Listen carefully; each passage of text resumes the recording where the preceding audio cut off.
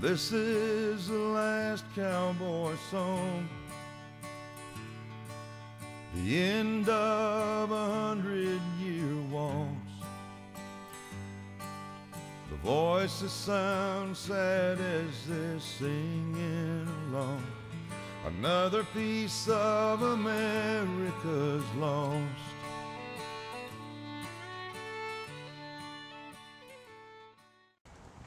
After a day out paroling the ranch, Ben and Marcus return first, go into town to enjoy a drink. On the way there, however, they meet a group of rowdy Capulets.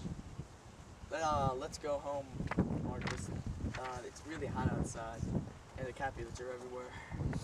You're one of them fellas that would put down his bar when he enters a saloon and say, I don't need a weapon to fight you pigs. Ain't that so? Yeah, come on, you're like a raging bull. Really? Hell, you'd fight a man c- just 'cause he has more hair than you. You'd fight a man 'cause he has hazel eyes. And you'd kill a man just for coughing and waking up your dog. If I fought half as much as you, then I'd be in the jail right now. Hell on earth, it's Capulet. They can kiss my boot. Morning, boys. May I have a word? Only one word with one of us? How about we make it a word and a fight? Any other day, boy. But right now, I don't want to. You sure you don't want to make it a special treat? Marcus, are you Robert's lover boy?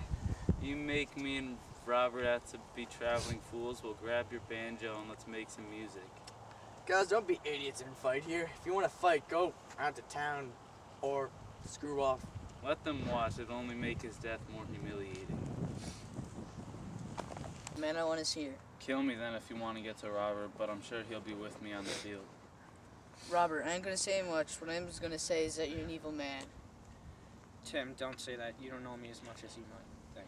Boy, you can't escape my vengeance. I'll get revenge for the pain that you've caused me. How have I hurt you? I loved you more than you realized.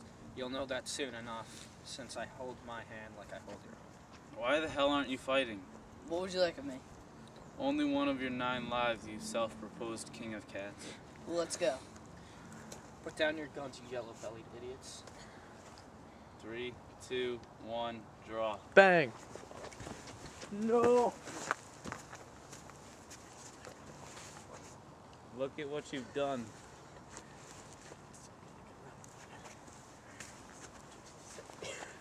I'm worm meat because of you.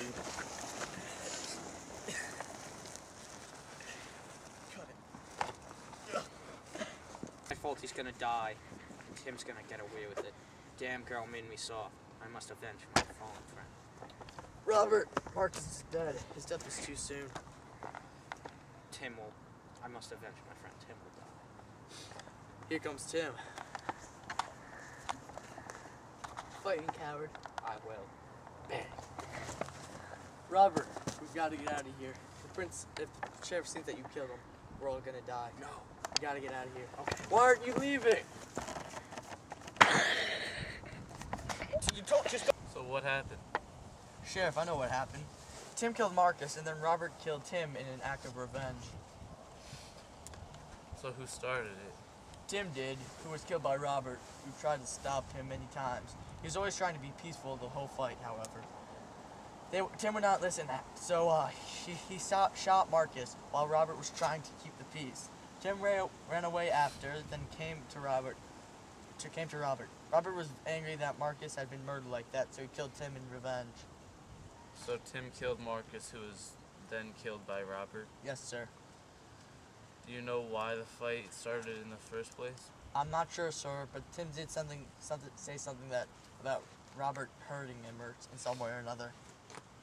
Well, Robert killed a man, and although it was an act of vengeance, one man should never be allowed to kill another without some kind of penalty.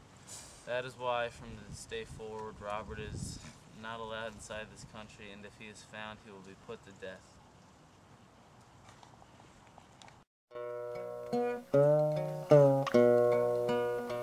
And when a cowboy says women, he means two different kinds.